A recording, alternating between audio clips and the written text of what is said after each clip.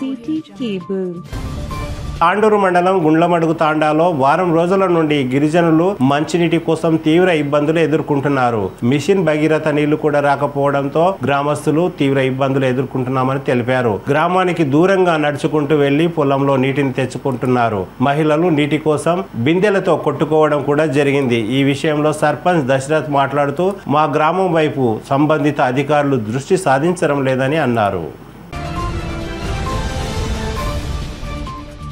CT cable.